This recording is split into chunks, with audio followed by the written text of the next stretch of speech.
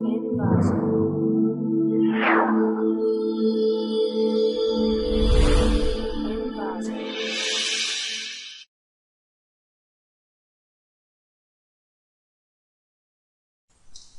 to clickmyproject.com.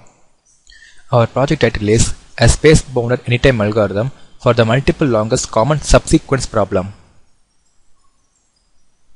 In our project, the multiple longest common subsequence problem called MLCS that is related to the identification of sequence similarity is an important problem in many fields.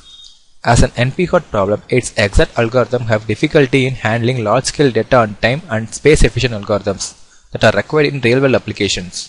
To deal with time constraints, any time algorithm have been proposed to generate good solution with a reasonable time. Based on SAMLCS, SLAMLCS, a space-bounded algorithm is developed to avoid a space usage from exceeding available memory. SLAMLCS uses a replacing strategy when SAMLCS reaches a given space bound. However, there exists little work on space-efficient MLCS algorithm. In this paper, we formulate the MLCS problem into a graph search problem and present two space-efficient anytime MLCS algorithms, SAMLCS and SLAMLCS. SAMLCS uses an iterative beam widening search strategy to reduce space usage during the iterative process of finding better solutions.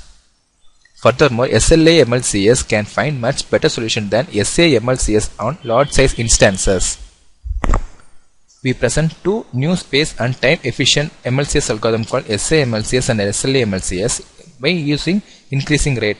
Although SAMLCS uses space efficiently, its space usage still grow exponentially handle the problem SLAMLCS a space bounded algorithm.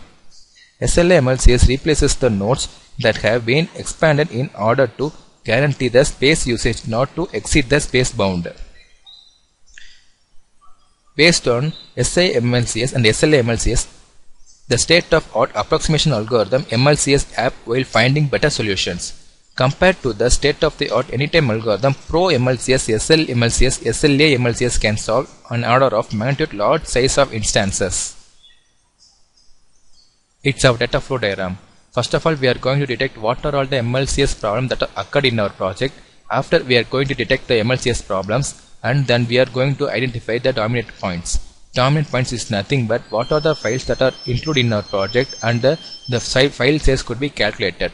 After the dominant points could be generated, it, it could be represented as a graph representation. After the graph could be generated, we are going to reduce the file size by using SLA MLCS algorithms. After reducing the files, we are going to analyze what are the files that are used in our project at the beginning and the size could be compared by the reduced file size. Let me see the demo of our project. Choose load.java and run file. In this frame, we are going to choose our dataset which is named as WBKB dataset. Then we are going to choose the path and choose the file.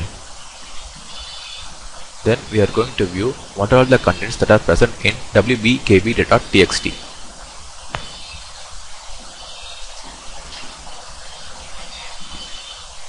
These are all the contents that are present in our dataset that we are chosen. Then we are going to split each and every category by course, student, project and faculty. Then we are going to split what all the information that are under in course test and the, what are the information that are under in student category and also what are the information that are present in our dataset under project category and also in faculty category. So course, these are all the contents present in course.txt then student these are all the information that are present under the student categories. Then project. These are all the information that are present under the project category. Then faculty. These are all the information that are present under the faculty categories. Then we are going to pre-process and pro-processing and pre-processing on each and every file.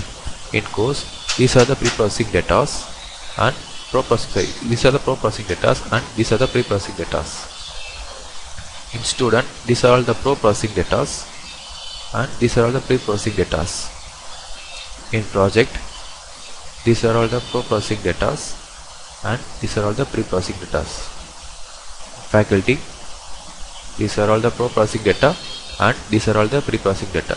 Pre-processing data is nothing but removal of stop words and unwanted contents. In next frame, we are going to extract each and every feature in every file. In course, there are 573 features going to be included or extracted. In student, 441 features could be extracted. In project, 960 features could be extracted and in faculty, 711 feature to be extracted. Feature is nothing but number of columns or number of uh, data that are present in our dataset WBKB.